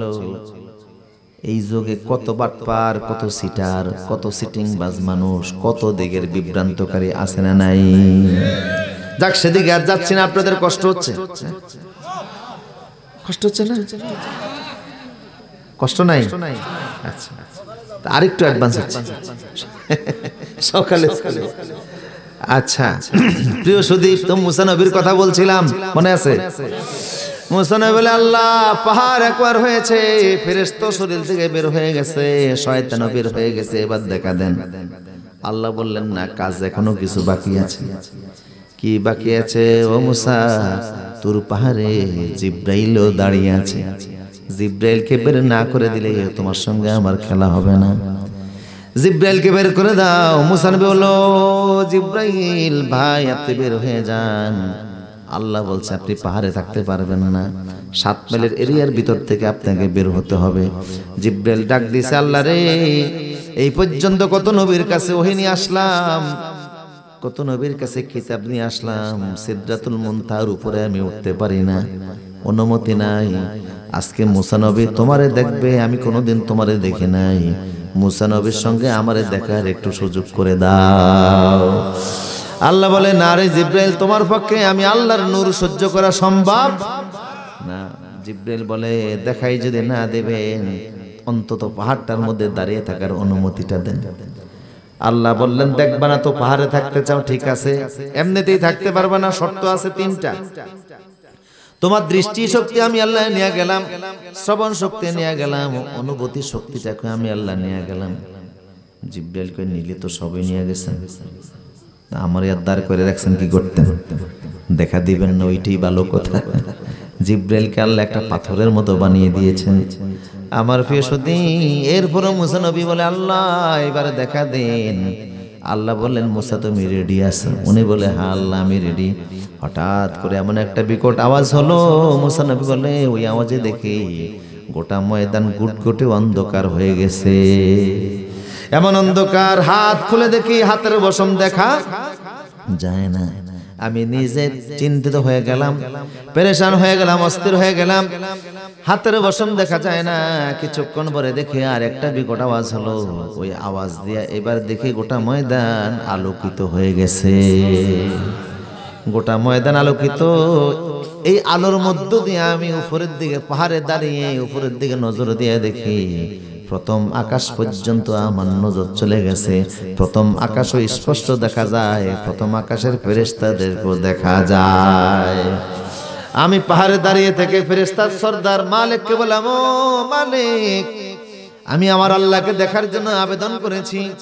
আমার আল্লাহ আমাকে দেখা দিবেন বলেও আদা করেছেন। এখন আমার ভয় লাগতেছে। মালিক বলে, ও মুসা, ইতিপূর্বে পৃথিবীর কোন নবী আল্লাহকে দেখার জন্য আবেদন করেন নাই। সর্বপ্রথম আপনি আবেদন করেছেন। আল্লাহ আপনার আবেদন কবুল করেছে। ধৈর্য ধরে প্রথম পর্দা দেখা যায়। আল্লাহ বলেন, "ও মুসা, তুমি রেডি মুসা নবী আল্লাহ, আমি রেডি আছি।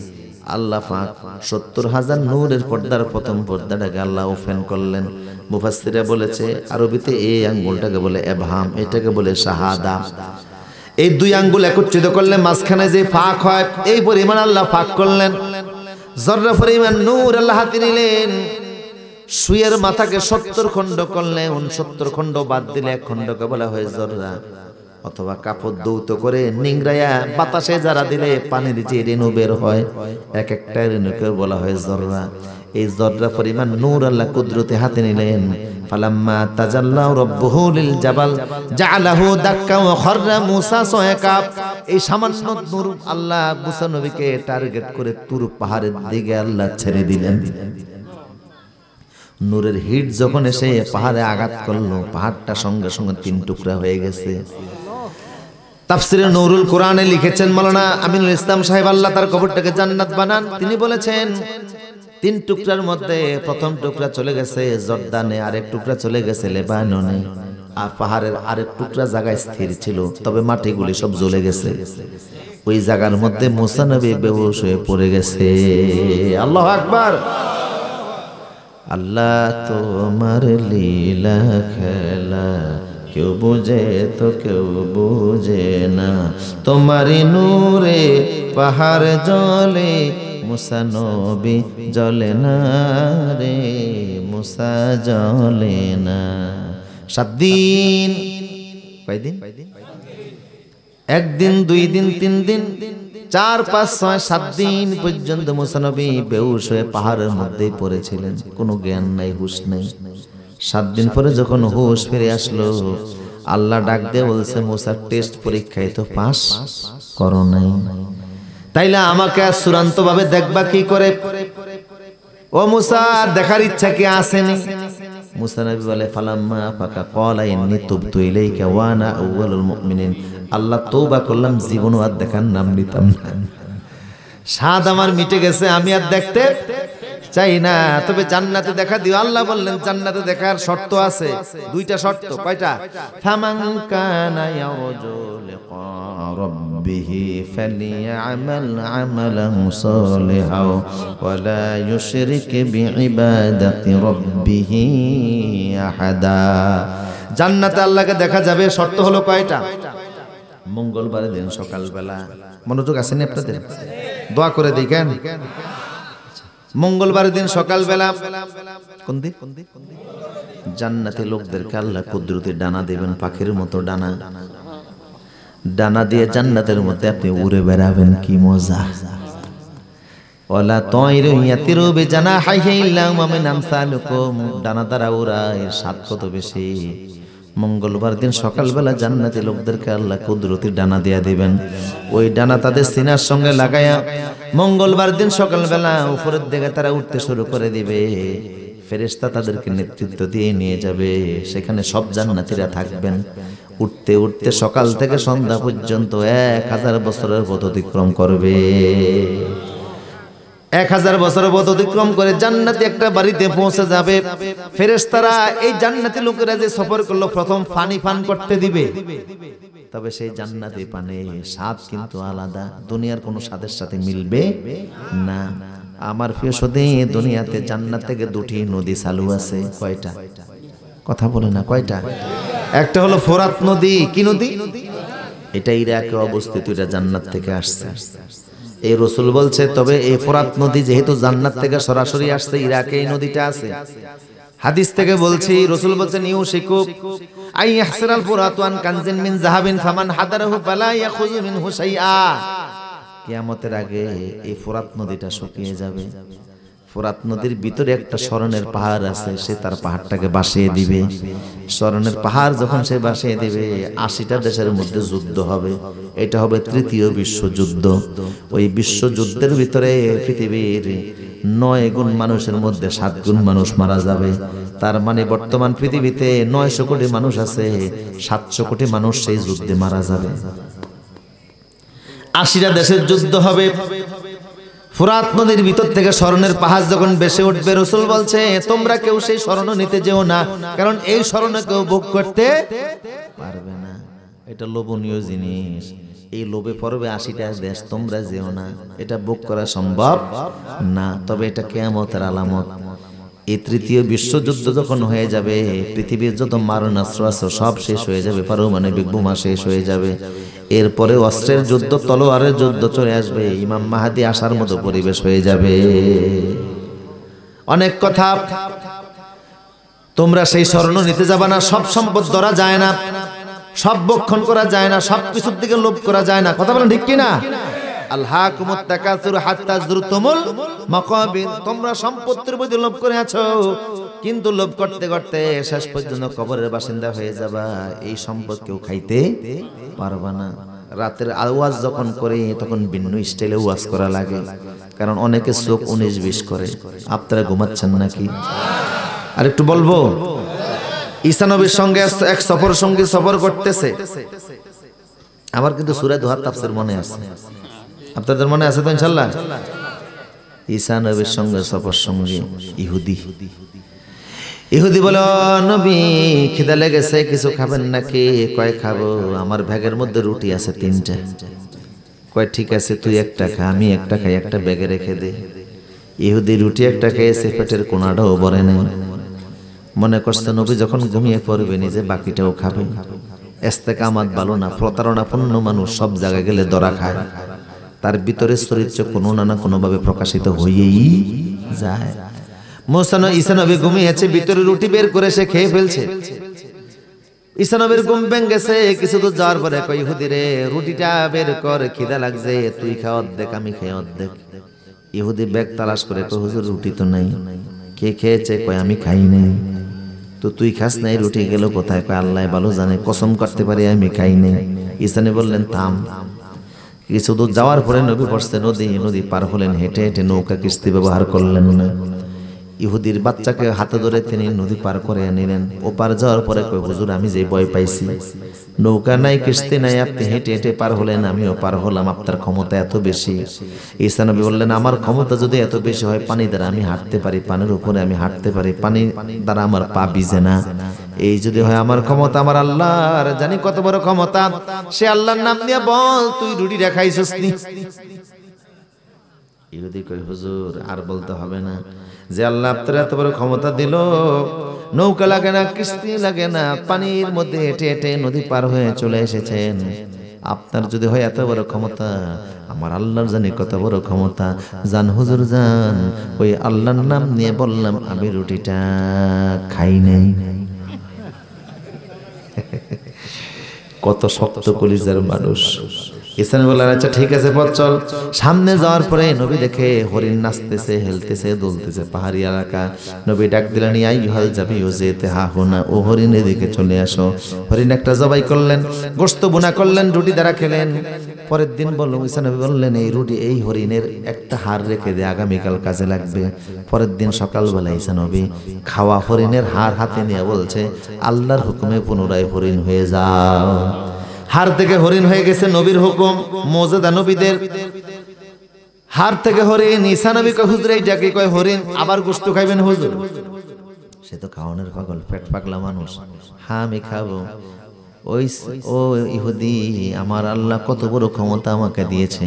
একটা হাড়ের থেকে, হাড্ডি থেকে আমি পুনরায় হরিণ বানিয়ে ফেলেছি। এই যদি আমার ক্ষমতা, আমার আল্লাহর জানি কত বড় ক্ষমতা। ওই আল্লাহর নাম নিয়ে বলো, তুমি রুটি রাখাইছো নি ইহুদি বলে, হুজুর, আর বলতে হবে না। যে কি কি বিস্ময়কর দৃশ্য আপনি আমাকে দেখালেন, ও হুজুর। জীবনও দেখে নাই, জীবনও শুনে নাই। মৃত হার থেকে আপনি পুনরায় জিন্দা হরিণ বানিয়ে ফেলেছেন। যেই হলো আপনার ক্ষমতা। আমার আল্লাহর জানি কত বড় ক্ষমতা। জান, হুজুর, জান। ওই আল্লাহর নাম নিয়ে বললাম, আমি রুটিটা খাই নাই। এখনও স্বীকার করতে আচ্ছা চল চল, সামনে চল। উদ্যোগ গগনে বাজেমা দল অরুণ ফতের তরুণ দল। বুঝলেন? সামনে চল রে। দেখা যাক কি হয়। আবার সামনে গেলেন। কিছু দূর যাওয়ার পরে ঈসা আলাইসালাম দেখে মাঠের মধ্যে তিনটা মাটির চাক্কা পড়ে আছে। মাটির চাক্কা তিনটা হাতে নিয়ে বললেন, আল্লাহর হুকুমে তিনোটা চাক্কা স্মরণে পরিণত হয়ে যান তিনটা চাক্কা স্মরণ হয়ে গেছে। হুজুর, এগুলি কি? স্মরণ কি করবেন হুজুর? এক টুকরা আমি নিব, এক টুকরা তোমারে দিব। আর এক টুকরা আমার কাছে আমি রেখে দিব। তবে রে ইহুদি, জীবনে যদি সেই ব্যক্তিকে পাই, যেই ব্যক্তি আমার রুটিটা খাইছিল, ওরে আমি পাইলে আমার নিজের স্মরণ ব্যাগের স্মরণ তারে আমি গিফট করব। ইহুদিকে হুজুর শক্তি দিবেন নি হুজুর। কয় দিব আদা দিলেন নি হুজুর, দিলাম। কয় তাইলে হুজুর মাফ করবেন, রুটিটা আমি খাইছিলাম হুজুর। লোভে ফাফ হয়? কথা বলেন, লোভে ফাফ হয়? তোর এতক্ষণ পরে তুই স্বীকার করলি, যা, তোর মতো লোভী নবীর সাথী হতে পারে না, সঙ্গী হতে পারে না। তুই চল তো এলাকায় তুই চলে যা। ইহুদি কয়, আমার আর চলার দরকার নেই। যে স্মরণও পাইছি, জীবনে বৈশা বৈশা খাইতে পারব আমি বিল গেটস। টাকা হলে মানুষ কি না করে। ভারতের সবচেয়ে শিল্পপতি যে পরিবারটা, এটা হলো আম্বানি পরিবার। মিতা আম্বানি, মুকেশ আম্বানি। এই মিতা আম্বানি যে পানি খায়, এক বোতল পানির দাম বাংলাদেশি টাকায় এক লাখ টাকা। টাকা মানুষের কোন কাজে লাগে। কত মানুষ খাইতে পায় না, আর ওনার এক বোতল পানি, এটা স্বর্ণ মিশ্রিত পানি। এক বোতল পানির দাম এক লাখ টাকা, তাইলে কি পরিমাণ খায়? উনি সকালবেলায় এক কাপ চা খায়, ভারতে এখনও আছে। তার এক কাপ চার দাম বাংলাদেশি টাকায় তিন লক্ষ টাকা। এই সার মধ্যে যে কোন ছয় মিলের বসে মিশায় আল্লাহ ভালো কি খাই হ্যাঁ? মেয়ের বিয়ে দিছে গত কয়েক, এক বছর আগে, ওই বিয়েতে খরচ করছে চোদ্দশো কোটি টাকা। কত মানুষ, কত টাকার মালিক, কত জায়গা অপচয় করে আর কত বনিয়াদম না খেয়ে খেয়ে মরে। নদী একুল বাঙ্গে অকুল গড়ে, এই তো নদীর খেলা। সকালবেলা রামের রে, তুই ফকির? ধন সম্পদ কে দেন? আবার ছিনিয়ে নেন কে? আমার প্রিয় সুদে, ইহুদি কয়, আমার আর থাকার দরকার নাই, চলে যাচ্ছি আমি আমার বাড়ির দিকে। তিন টুকটা স্বর্ণ কোমরের ভিতরে নিয়ে নিছে। তিন রাস্তার মাথায় গেছে, ডাকাত তিনটা কয়, তোর ভিতরে কিছু আছে নাকি? কয়, আমি গরিব মানুষ কোত্থেকে থাকবে? কয়, কমরটা ফুলা কেন? লঙ্গি ধরে টান দিছে স্মরণের টাকা মাটিতে পড়ছে। এখানেই ধরে মারছে ইহুদি তিন ডাকাত মেরে মেরে ফেলেছে। ও যে ঘটনা প্রকাশ করে দিলে আমরা বিপদে পড়ব, মার। মেরে বলতেছে মানুষও তিনজন স্বর্ণ তিন চাক্কা আমরা সবাই ভাগাভাগি করে নেই কোনো গ্যাঞ্জাম নাই। একজন প্রস্তাব করছে আজকের মতো আনন্দের দিন জীবনে আর হবে না। সামান্য কষ্টের মাধ্যমে আমরা তিন চাক্কা স্মরণের মালিক হলাম। এই দিনটাকে স্মরণীয় করে রাখতে বাজারে যায় মিষ্টি আন। যে বাজারে মিষ্টি আনতে গেছে সে চিন্তা করে বিষ মিশানো মিষ্টি নিতে পারলে ওই দুইটারে মারলে আমি একা তিনটার মালিক। এখানে যে দুইটা আছে, তারা বলতেছে, ওইটা আসলে ওরে যদি মারতে পারি, দেড়টা দেড়টা করে বাক করে নেব আমরা। উনি আনছে বিষ মিশানো মিষ্টি, আর এরা এখান থেকে পরিকল্পনা করছে, আসলেই মাই শুরু। ডাকাইত তো কোনো ধর্ম নাই, কোনো আদর্শ নাই, নৈতিকতা নাই, সমানে মারছে পিটাইয়া। কিরে ভাই, আমারে মারিস কয়, মাথা ঠিক নাই। ইচ্ছা মতো পিটিয়া মারছে। কয়, এবার মিষ্টি খা, তারপরে বাড়ি যাই। মিষ্টি খাইলো, মিষ্টি খায় ব্যাঙ্গের মতো সিটিয়া পইরা রইল। স্মরণের জায়গায় স্মরণ রইল, কেউ মালিক হইল। ঈসানবী সেই রাস্তা দিয়ে যাচ্ছে এখন। গিয়ে দেখে ইহুদি এক জায়গায় লাস্ট তিনটা, তিন জায়গায়, স্বর্ণ আরেক জায়গায়। কথা বুঝতেছেন কি না? আল্লাহ যদি কাউরে ভোগ করতে না দেন, কোনোদিন ভোগ করতে পারবেন না। বাংলাদেশের সবচেয়ে বড় শিল্পপতি যিনি ছিলেন, মরণের আগে বাদ খেয়ে মরতে পারেন। কথা বুঝতেছেন কি না? এক শিল্পপতির সঙ্গে আমার রমজান মাসে সাক্ষাৎ। তিনি সরকারকে দেখাইছেন উনি ষোলো হাজার কোটি টাকার মালিক। কিন্তু দেখলাম খাইতে পারে না। খাইতে পারে না। আমরা হুজুররা যত খাই, ওরা উদ্র খাইতে পারে। কথা বলেন ঠিক কি না রিজিকের মালিককে টাকা থাকলে খাওয়া যায় না। টাকা পয়সা, চোখের সৌন্দর্য আর বক্ষণ করে হজম করা, এটা হলো মূল রিজিক। কথা বলেন ঠিক কি না আমার প্রিয় সুদীন তো যে কথা বলছিলাম হজরত মুসা আলাইহিস সালাম আল্লাহকে দেখতে যাওয়া দেখতে পেলেন না। আল্লাহ বলছেন, জান্নাতে সাক্ষাৎ দিব তো জান্নাতে আল্লাহ মঙ্গলবার দিন সকাল থেকে যে আপনি উড়বেন, মনে আছে? হ্যাঁ? এটা বলে শেষ করে দেন কেন? আজকে না আবার? সামনে, শুনেন, সামনে দুই দিন ব্যাপী আয়োজন করবেন ইনশাল্লাহ দুই দিন তাফসির শোনাবো, আর আমার দিবেন নয়টা। কয়টা? নয়টা কারণ আমি গভীর রাইতে ওয়াজ করতে পারি না। এই আলোচনা, আলহামদুলিল্লাহ আপনার আয়োজন চমৎকার করছেন, আমার এই মুরব্বী ওলামা কেরাম। দেখে আমার ভালো লেগেছে। নয়টায় বসাই দিবেন ইনশাল্লাহ আর আলেমদেরকে দেখে দেখে আনবেন, যারা কোরআন থেকে কথা বলে। আলহামদুলিল্লাহ বলেন। আপনারাও শুনবেন, তাফসির মাহফিলের বেশি আয়োজন করবেন। ইসলামের জন্য কি করছেন আপনারা বলেন? আমার বাসার কাছে এক হিন্দু লোকের বাসা। মনোযোগ আছেন আপনাদের? এক হিন্দু লোকের মানে কাপড় স্ত্রী করেছে। তা আমার বলল, হুজুর আমারে একটা হাজার টাকা হাওলাত দিবেন। তা নাও। এক সপ্তাহ পরে আসছে। কিরে, কোথায় গিয়েছিলে? বলল হুজুর, পূজা ছিল। দুর্গা পূজা। তো টাকা হাওলাত কিছু কি করতে? কয় একটু দরকার ছিল। আচ্ছা ঠিক আছে। তো টাকা দিয়ে দিয়েছে। তো বললাম, দুর্গা পূজায় কি করছ? কেমনে করছ পূজা? খুব খোঁজখবর নিলাম, বলল যে, পূজা উপলক্ষে আমাদের বাড়ির যতগুলি ঘর আছে, আমরা সিদ্ধান্ত নিয়েছি গড় প্রতি দশ হাজার টাকা করে আমরা প্রতি বছর দিই। আড়াই থেকে তিন লক্ষ টাকা উঠে পূজায় যা খরচ হয়, বাকি টাকাগুলো আমরা রেখে দিই। প্রত্যেক বছর দেওয়া লাগে। কাপড় ইস্ত্রি করে, সে পূজা উপলক্ষে বছরে দেওয়া লাগে দশ হাজার। অথচ সে নিজেই বলতেছে যে, এই মূর্তি কিনে, বাহিরের থেকে কিনে নিয়ে আসি। তিন চার দিন পূজা করি, আবার মাটির মূর্তি পানিতে সুবাইয়া মাটি বানিয়ে দেয় কথা বুঝতেছেন কিনা? সে বলে না যে, এর বিনিময়ে আমরা জান্নাত চাই। এটা একবারও বলে না কিন্তু আপনি জানেন কোরআনের মাহফিলে খরচ করলে জান্নাত আছে না নাই? আপনি ওয়াজ মাহফিলের জন্য কয় টাকা দেন? একটা হিন্দু লোকদের দশ হাজার টাকা, তার পূজার জন্য বছরে। মসজিদের জন্য কয় টাকা চাঁদা দেন? ইমাম মুয়াজ্জিনের জন্য কয় টাকা দেন? ইসলামের জন্য কি পরিশ্রমটা আমরা করি? অথচ আমরা জানি এখানে একটা কদম, কদমে কদমে জান্নাত আছে। আছে না নাই? আমার প্রিয় সুদী অমুসলিমদের মধ্যে জাতীয়তাবোধ যত, আমাদের মধ্যে ততটুকু নাই। আমার ভাইরা, মনোযোগ আছে? তো মঙ্গলবার দিন সকাল থেকে সন্ধ্যা পর্যন্ত উঠবে জান্নাতি যে বাড়িতে যাবে, সবাই রে পানি পান করতে দেওয়া হবে। পানি খাওয়ার পরে রাত যাপন করবে, সে পানির যে কি স্বাদ, কি মজা তা বলে বোঝানো যাবে না। বুধবার দিন সকালবেলা জান্নাতে লোকগুলি আবার ওরা শুরু করবে, আনন্দে আনন্দে উড়বে। বাবা মা, ছেলে মেয়ে যদি জান্নাতে থাকে, উড়বে, কোনো কষ্ট নাই, কোনো ব্যথা নাই, কোনো যন্ত্রণা নাই, সে ডানা মেলে উড়ার মধ্যে যে কি মজা। পাখিরা যে ওরে দেখতে মাঝে মধ্যে মন মনে চায় না যে আমি একটু যদি উঠতে পারতাম। এই মনের আশা পূরণ হবে জান্নাতে। বুধবার দিন সকালবেলা আবার সবাই উঠবে সন্ধ্যার আগে আগে সবাই একুত পাথর দ্বারা নির্মিত জান্নাতে বাড়িতে পৌঁছে যাবে। সেখানে ফেরেশতারা সারা বান তাহুরা পান করতে দিবে। এই যে সকাল থেকে সন্ধ্যা পর্যন্ত উঠবেন মাঝখানে এক হাজার বছরের পথ অতিক্রম করবেন। কি গতি? কি গতি? আমি এই পর্যন্ত প্রায় বিশটার মতো বিমানে উঠছি। সর্বোচ্চ একটা বিমানের গতি হয়তো বা সাতশো থেকে আটশো কিলোমিটার বা হাজার কিলোমিটার। কিন্তু সকাল থেকে সন্ধ্যা পর্যন্ত আপনি উঠবেন এক হাজার বছরের পথ অতিক্রম করবেন। দুনিয়ার সমস্ত বর্তমান পৃথিবীর সবচেয়ে দ্রুতগামী বিমান হলো সুপারসোনিক। এই বিমানও এটার গতি হলো ঘন্টায় আড়াই হাজার কিলোমিটার বা তিন হাজার কিলোমিটার। অথচ আপনার গতি হবে দুনিয়ার রকেটের সাইতে অনেক। সকাল থেকে সন্ধ্যা পর্যন্ত উড়ে এক হাজার বছরের পথ আপনি অতিক্রম করবেন। ওই ডানার মধ্যে আল্লাহকে শক্তি দিয়ে দিবেন। বৃহস্পতিবার অতিক্রম করার পরে বৃহস্পতিবার সকালবেলা আবার উড়বেন। বুধবার রাতের পরে বৃহস্পতিবার সকাল থেকে উড়ার পরে সন্ধ্যার আগে আগে জান্নাতে আরেকটা বাড়িতে পৌঁছে যাবেন। ওই বাড়িতে যাওয়ার পরে আল্লাহ নিজে আপনাদেরকে দুধ পান করাবেন। দুধ পান করাবেন কে? সার এবং সা এগানলি সার এবেন এটা এত মজনীয় মজার দুধ, জান্নাতি দুধ।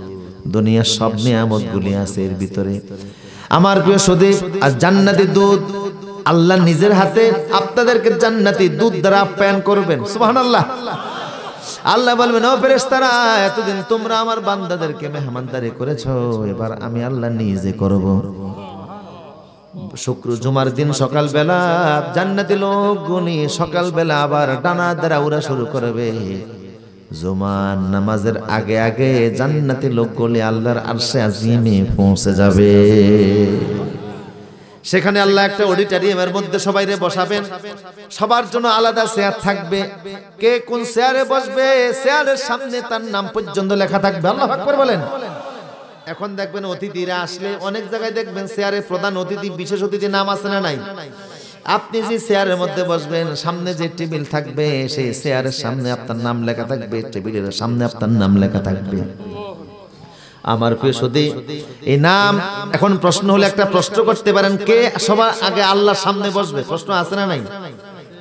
এই হাদিসটা আমি সেদিন পড়েছি আমি নিজে এই হাদিস মেসকাত ছাত্রদেরকে পড়াই।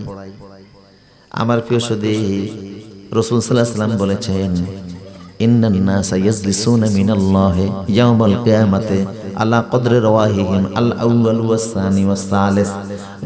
জুমার দিনে জুমার দিনে যে যত আগে মসজিদে আসবে, যে সবার আগে আসবে, কেয়ামতে জান্নাতে আল্লাহর সামনে সে সবার আগে বসবে।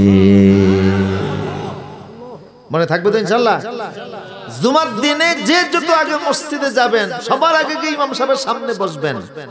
যখন জুমার দিনে আওয়াজ দেওয়া হয়, ইয়া আইয়ুহাল্লাযীনা আমানু ইযা নুদিয়া লিস-সালাতি ইয়াউমিল জুমআতি ফাসআউ ইলা যিকরিল্লাহি ওয়া যারুল বাই' যালিকুম খায়রুল লাকুম ইন কুনতুম তা'লামুন যখন জমার দিনে আহ্বান করা হয়, ডাক দেওয়া হয়, ঘোষণা দেওয়া হয়, আজান দেওয়া হয়, ব্যবসা, বাণিজ্য কাজ কাম যা কিছু আছে সব কিছু ফেলে দিয়ে মসজিদের দিকে দৌড়াও।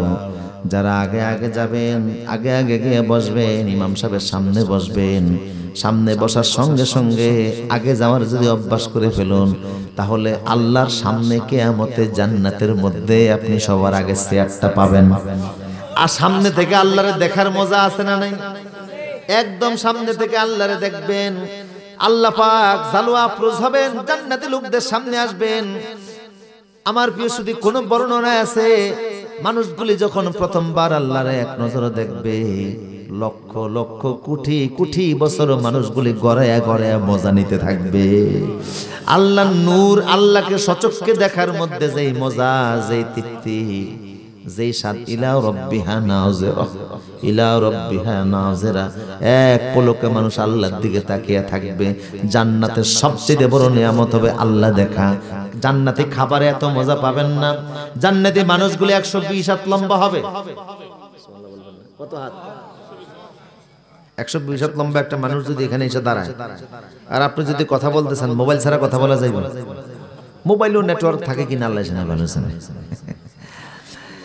একশো লম্বা মানুষের পেটটা হবে চল্লিশ কত খাবেন? বলবেন না। এই দেখবে দেখবে, যত আপনি খাবেন, সমস্ত নিয়ামতের মধ্যে বড় নিয়ামত হবে আল্লাহ দেখা।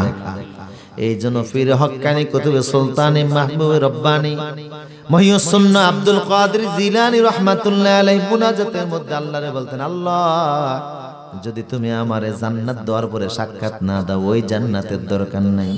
বরং জাহান্নাম দিয়েও যদি আমার সঙ্গে সাক্ষাৎ দাও, তোমার জাহান্নামটা আমার জন্য জান্নাত হয়ে যাবে। মালিক, তুমি জান্নাতে তোমার কাছে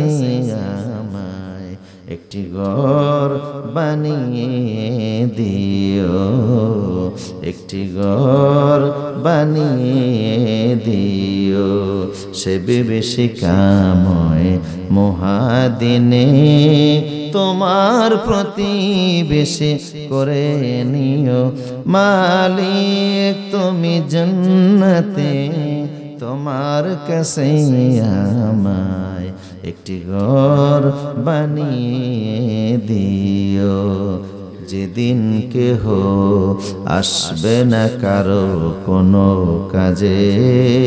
যেদিন পাপি পাপের বোঝায় মোর বেলা যে।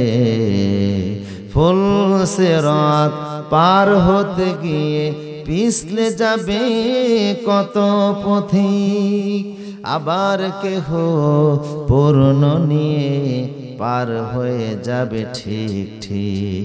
সে মহাদিনে মহাক্ষণে সে মহাদিনে মহাক্ষণে পার করে নিও তুমি।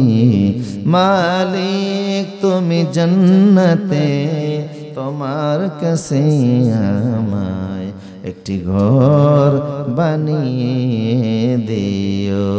দুর্বনামিন লা ইলাহা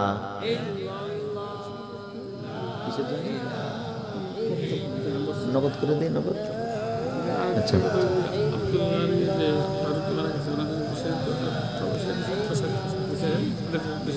ইমাম কুরতুবি বলেন আল্লাইলি ইজা সাজা মানে হচ্ছে সেই রাত যেই রাতে আল্লাহ রসুলকে কোথায় নিয়েছেন? মেরাজ। এমন বিস্ময়কর রাত পৃথিবীতে আর হবে না। দুনিয়ার দৃষ্টিতে এক রাত, আর উপরের দৃষ্টিতে রাসূলকে আল্লাহ 27 বছর উপরে রাখছেন। সুবহানাল্লাহ বলেন? উম্মে হানি নিজে বলছে যে মোহাম্মদ যাদেরকে ঘুমে রাইখা গেছে আকাশ থেকে ঘুরে এসে দেখে সবাই ঘুমের মধ্যে আছে। অথচ উপরে দিয়া সাতাইশ বছর নাই মাঝখানে নিচে দিয়া এক রাত। তাও রাতের পুরাটা না রাত তখনও সেই যেই সেই জায়গায় আছে যেখানে রসুল রাতটাকে রেখে গেছে। উপরে আকাশে গেছেন আরশে গেছেন সাক্ষাৎ করছেন জান্নাত দেখছেন জান্নাতে দাঁড়িয়ে জাহান্নাম দেখেছেন ফেরেশতাদেরকে দেখেছেন আল্লাহর সাথে কথা বলেছেন। এত বিস্ময়কর রাত পৃথিবীতে আর আসবে না। রাতের বর্ণনা দিতে গিয়ে আল্লাহ নিজেই বিস্ময় প্রকাশ করছেন সুবহানাল্লাজি আসরা বিআবদিহি লাইলাম মিনাল মাসজিদিল হারাম ইলাল মাসজিদিল আকসা। এই রাতের কসম খাইছেন আল্লাহ দ্বিতীয় আয়াতে ওয়াল্লাইলি ইযা সাজা। শেষ তাফসীর। এই দুই রাতের কসম খাওয়ার পরে এবার আল্লাহ বলতেছেন মা ওয়াদ্দাআকা রাব্বুকা ওয়া মা ক্বালা ও নবী আমি আল্লাহ আপনাকে ছেড়েও দেই নাই আপনার উপর রাগ করি নাই। সুবহানাল্লাহ। ওয়ালাল আখিরাতু খায়রুল লাকা মিনাল উলা। দুনিয়ার চাইতে আখিরাত আপনার জন্য অনেক গুণ উত্তম।